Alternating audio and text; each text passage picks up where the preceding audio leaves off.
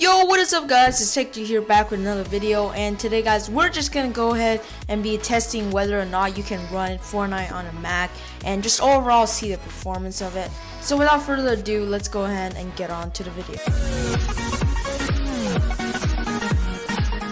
We're gonna go ahead and be testing this on my late 2013 iMac which is running on an Intel Core i5 clocked at 2.7 gigahertz um, Intel Iris Pro graphics 5200 and 8 gigabytes of RAM, while the minimal system requirements for um, Fortnite is at least an Intel Core Intel HD 4000 Core i3 clocked at 2.4 gigahertz and 4 gigabytes of RAM.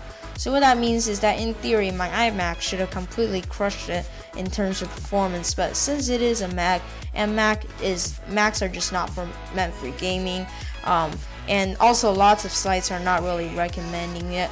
But I still want to see how well this can do um, and just kind of test it out. Okay, so we're just gonna start with the highest settings and see what frame rates we can get. So I'll start this by putting all my settings into Epic and switching my resolution to 1920 by 1080p, which is my native um, resolution for my iMac. Um, so the first test resulted in about a 15 FPS average, which is really, really bad. And I'll say that it's almost unplayable. It, you can still play, but it, it's it's around the borderline of um, unplayable. Bruh, look at this dude. Wait till you see the. no, no, no, no.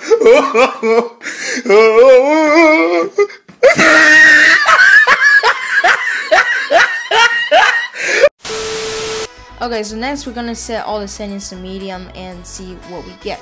So this resulted in about a solid 30, 30 FPS average and it's pretty decent. Um, although most modern PCs, consoles, um, and stuff like that can run it around 60 FPS.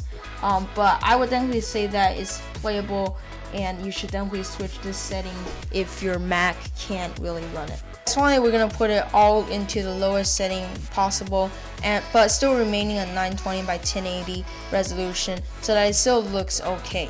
However, it was not a huge improvement, and I'm only getting an average of 40 FPS. Um, but putting it the resolution down to 1280 by 720p um, would help it drastically, and you probably get a solid 60 FPS with low settings.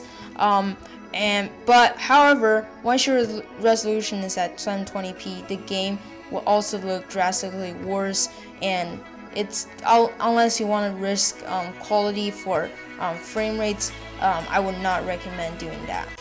Okay, so thank you so much for watching today's video. Um, I do have a break this week, which means that I'll be able to getting a lot more videos than usual. So if you enjoyed this, make sure you subscribe so you can watch quality tech videos just like this. Normally I upload about once a week, but again, since I'm having a break, I will be able to upload a lot more. So thumbs if you liked it and subs if you loved it. Bye, and I'll see you again.